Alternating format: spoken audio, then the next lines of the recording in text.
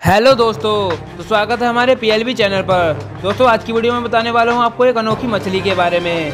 दोस्तों, इंसानों की तरह ज़्यादातर जीवों के खून का रंग लाल होता है, लेकिन कुछ ऐसे भी जीव हैं जिनके खून का रंग कुछ और ही होता है।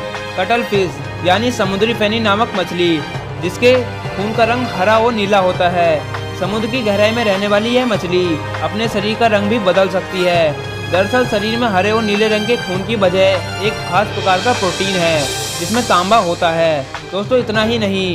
इस मछली के पास तीन दिल होते हैं। जब कोई इस पर हमला करता है तो यह गहरे रंग का धुआँ छोड़ती है, जिससे दुश्मन लगभग अंधा हो जाता है। दोस्तों ऑक्टोपस की तरह इसकी भी आठ बुझाएँ होती हैं। समुद्र में इनकी 120 से अधिक प्रजातियाँ पाई जाती हैं।